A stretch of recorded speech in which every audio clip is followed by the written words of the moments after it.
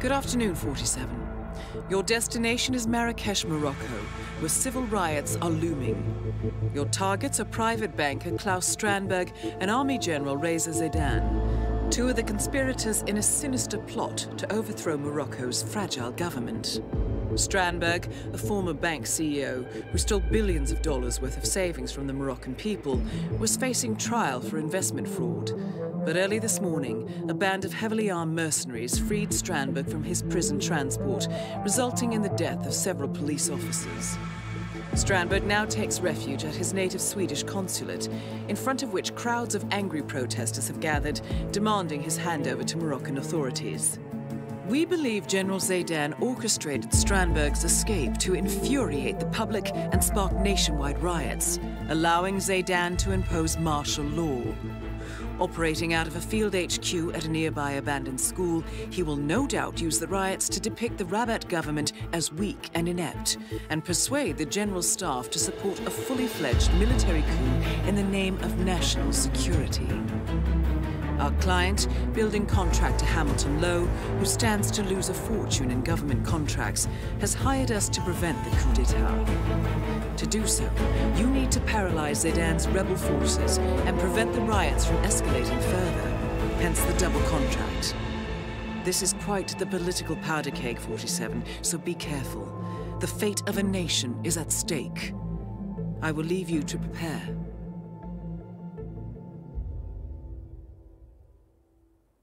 Welcome to Marrakesh, 47. The situation grows more tense by the minute. The consulate is under lockdown. But the protests are only a stone throw away from full-blown riots, and Zaydan won't hesitate to unleash his troops.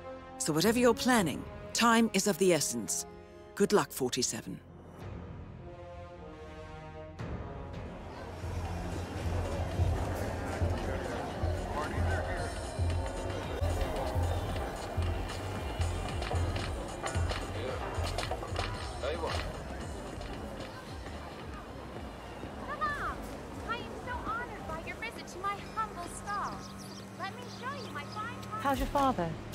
Thanks for asking. He's upstairs right now working on this novel of his, some kind of political thriller, I think. You know, airport lit. Oh, that's nice. So he doesn't miss the old school? Well, he was headmaster for 30 years, and he still carries around the master key. You know, the one that fits all the locks. Doesn't seem to be able to part with the damn thing. But that's nostalgia for you. Well, maybe now he'll be a famous writer. The old headmaster of the school Zaidan is using as his field HQ lives right above the carpet shop. According to his son, he kept the school's master key out of nostalgia. Supposedly, this opens any lock in the building. Steph. Right. And maybe my carpets are magical. Oh, give your old man some credit, Marwin. He might surprise you yet. Anyway, got to run. See you around. Yep, up, up, and away.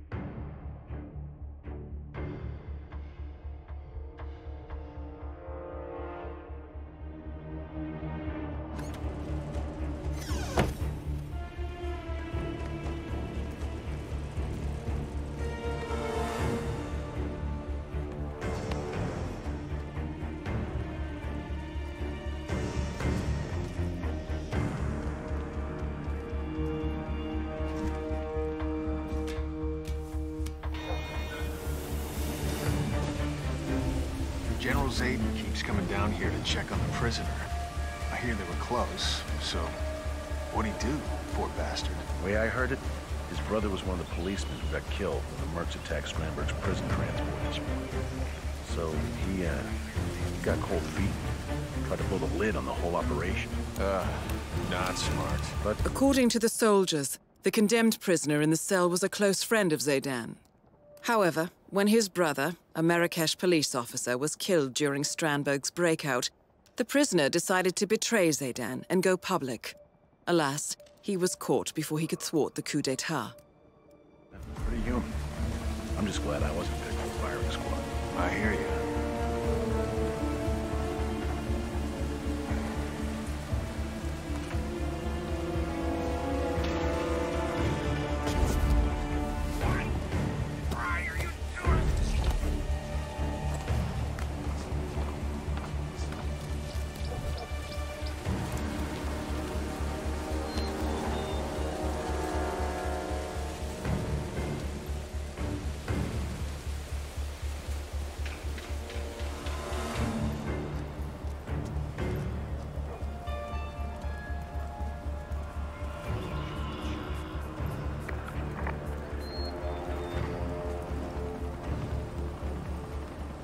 You're in.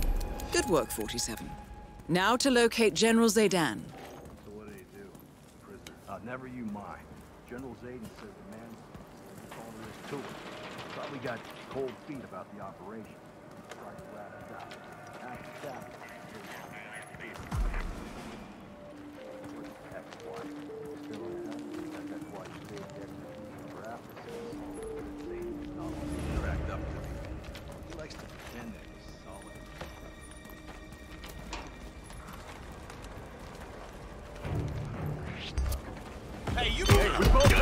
Crack.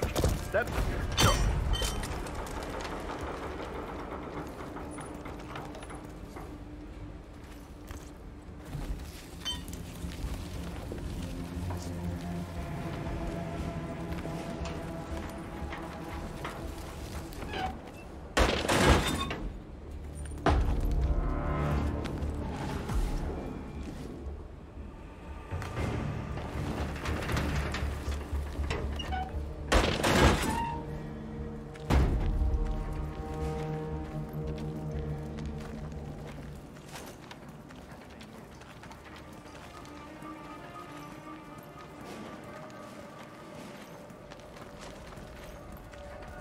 You're dismissed.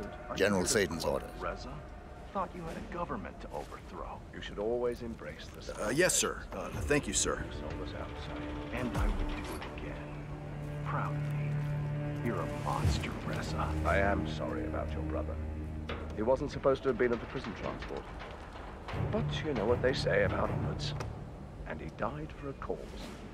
To line the pockets of your mysterious backers. I didn't say it was a good cause.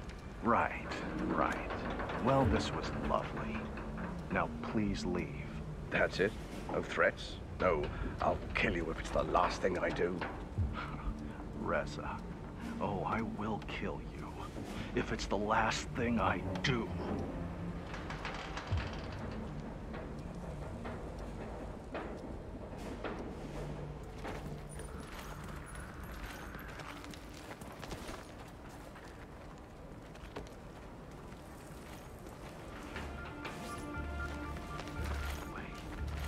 Always a way.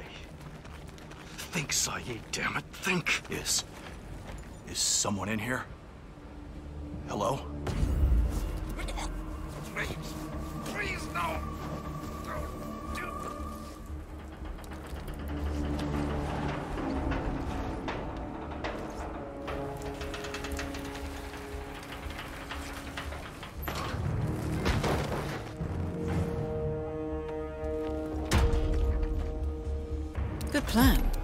Zaydan won't expect resistance from a tied-up prisoner.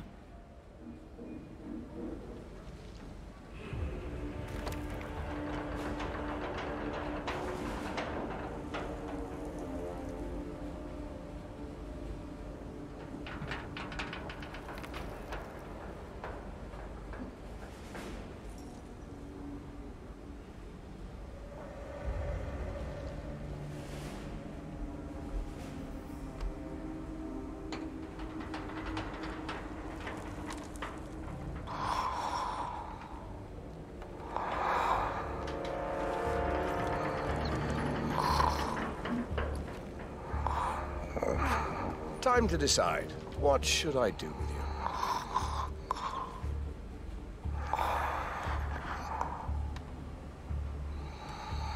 But don't tell me you're sleeping, Said. Plenty of time for that, I'm sure.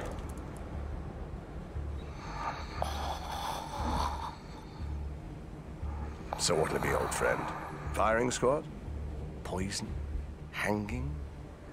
Oh, so many choices.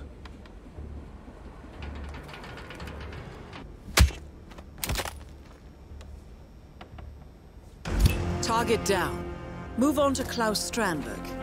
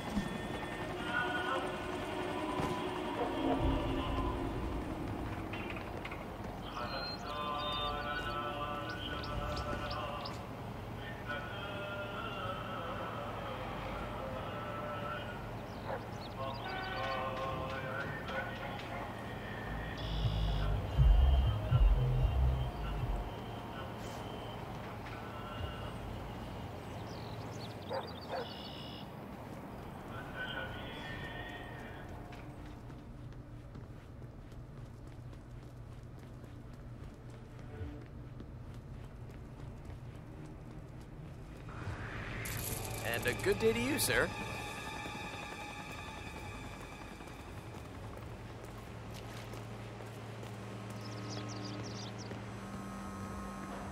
Well, hey, mister. Salam.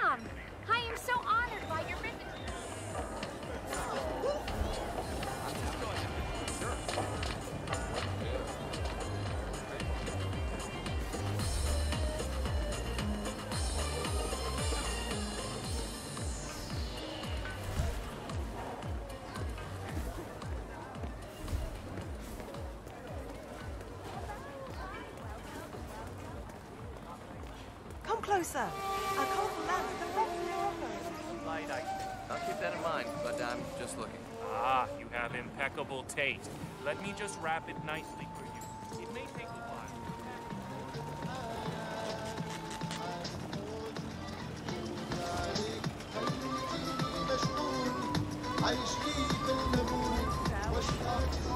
Ah, thank you. Of course I'm not gonna do it. No way I'm getting near that place. Besides, I've got all this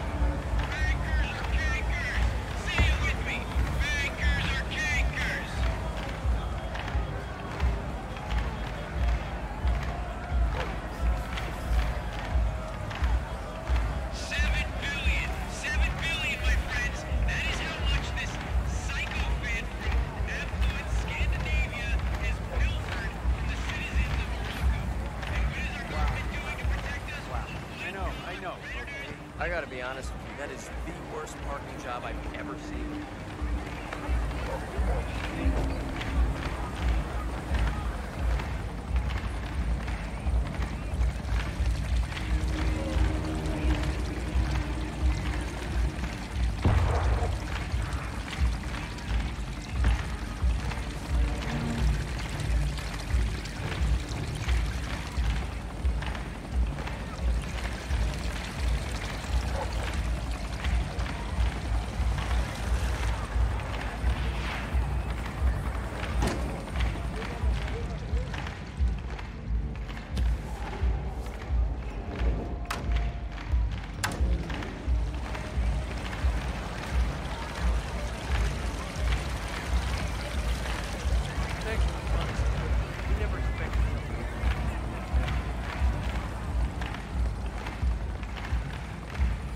You made it. Most impressive, 47. Now to locate Claus Strandberg.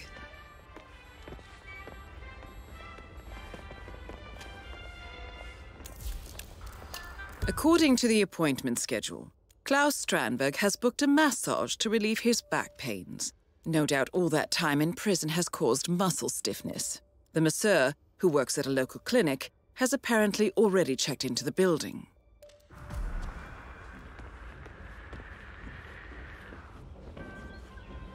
Massage expert Connie Engstrom.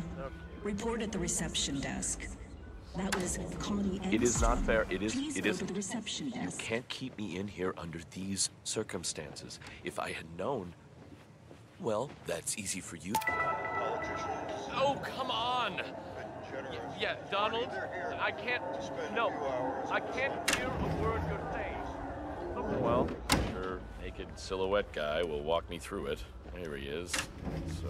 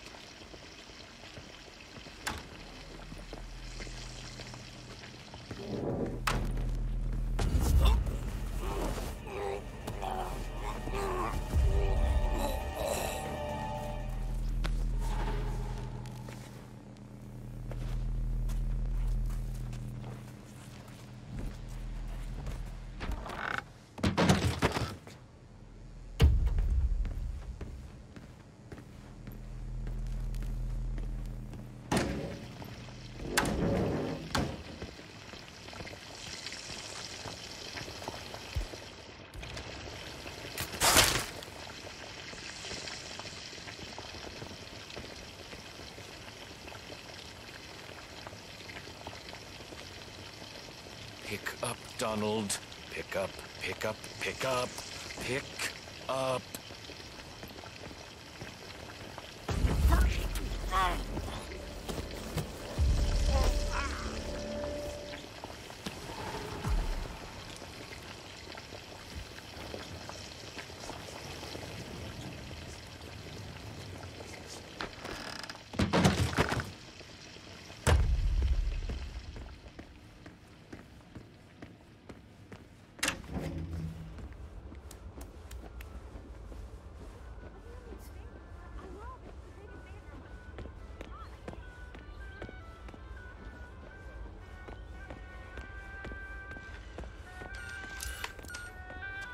Connie Engstrom, Monsieur. Here for an appointment with Claus Strandberg. Ah, Mr. Engstrom. Please proceed to the massage room. It's upstairs on the right. I'll inform Mr. Strandberg.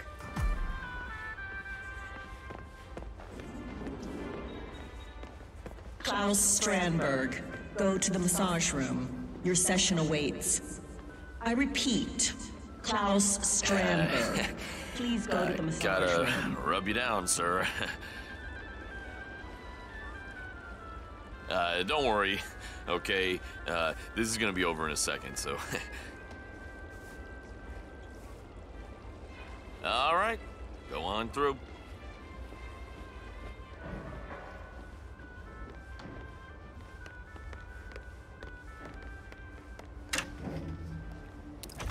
Ah, so the man with the golden touch. Let's get started. Shall we? Ah, this muscle tension is killing me. Why don't you lie down, Mr. Strandberg? Oh, please. Call me Claus.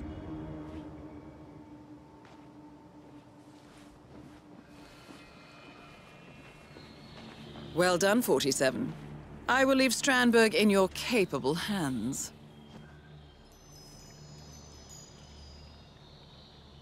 Ah, that's the ticket. I tell you, Nothing makes you tense like thousands of people wanting to kill you. Hell, uh, people are funny. The fact is, if those morons had bothered to learn the first thing about market investments, my scheme would never have worked. Greed and ignorance, my friend. Those are the cornerstones to any good con. But you see, easy money, that's all people care about. So they can drive their ridiculous urban SUVs and drink wine on a Thursday, on a Tuesday, whatever, and tell each other how they've made it. It's pathetic. I own a private jet. I made it. But tell you what, you seem like a sensible guy, so I'll give you this one for free. You should pack up and leave the country, because things are about to become unpleasant. So, I feel a lot. Both targets down. Now head towards an exit.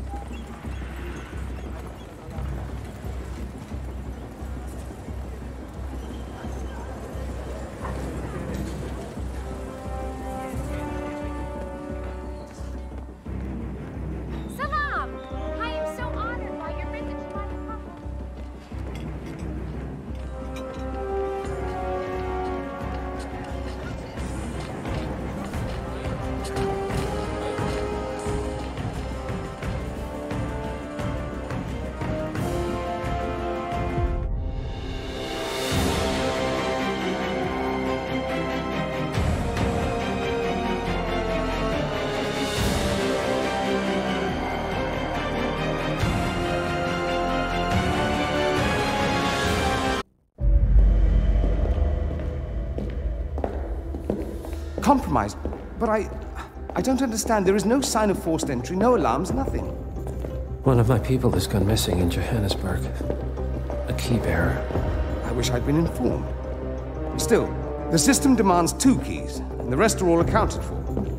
Except for your late predecessors. Cobb? But... His plane went down over the Pacific. It was an accident. Such was the conclusion at the time. Yes.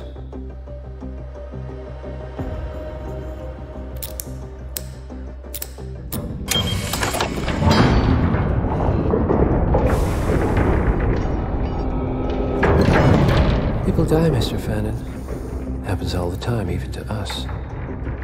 It seems like a conspiracy. Probably isn't. And yet, the failed coup in Morocco, the ether virus. Someone knows about us.